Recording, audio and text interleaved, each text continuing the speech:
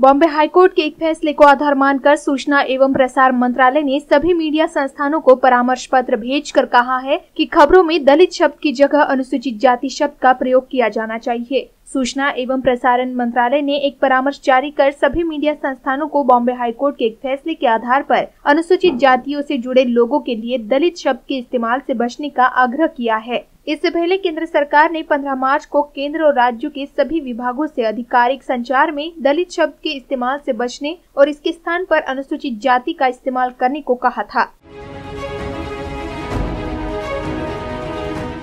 उत्तर प्रदेश के अलीगढ़ में 10 से 12 साल के पाँच बच्चों द्वारा 12 साल के अनुसूचित जाति से ताल्लुक रखने वाले बच्चे की पीट पीट कर हत्या किए जाने का मामला सामने आया है। बताया जा रहा है कि इस लड़के ने नदरोई गाँव के चामुंडा मंदिर में सजावट के लिए लगाए गए गुब्बारों को छू लिया था। ये गुब्बारे जन्माष्टमी के पर्व पर सजाए गए थे। इसी से गुस्साए पाँचों नाबालिग लड़कों ने इस अनुसूचित जाति से ताल्लुक रखने वाले लड़की की पिटाई कर दी, जिसकी जगह पर ही मौत हो गई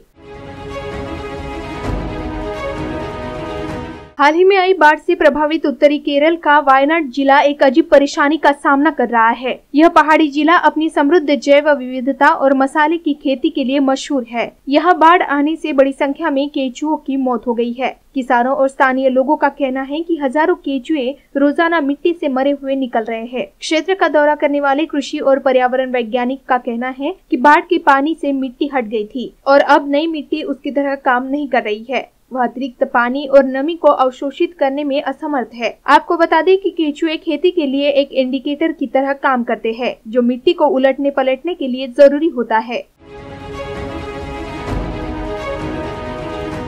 भारतीय रिज़र्व बैंक ने तीन सरकारी बैंकों पर कुल तीन करोड़ रुपयों का जुर्माना लगाया है। इन बैंकों में union bank of India, bank of India और बैंक ऑफ़ महाराष्ट्र शामिल है। केंद्रीय बैंक ने शुक्रवार को बताया कि उसने तीनों बैंकों पर एक एक करोड़ रुपयों का जुर्माना लगाया है। केंद्रीय बैंक ने बैंकिंग नियमन कानून के तहत यह जुर्माना लगाया है।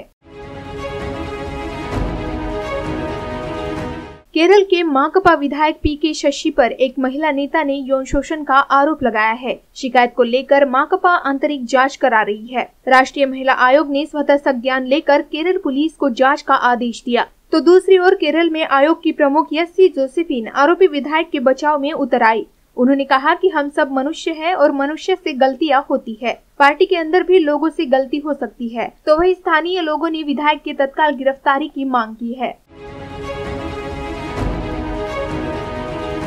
सुप्रीम कोर्ट ने शीर्ष अदालत के मार्च के फैसले को निष्प्रभावी बनाने और एस सी अत्याचार की रोकथाम कानून की पहले की स्थिति बहाल करने के लिए इसमें किए गए संशोधन को चुनौती देने वाली याचिका पर शुक्रवार को केंद्र सरकार को नोटिस जारी किया।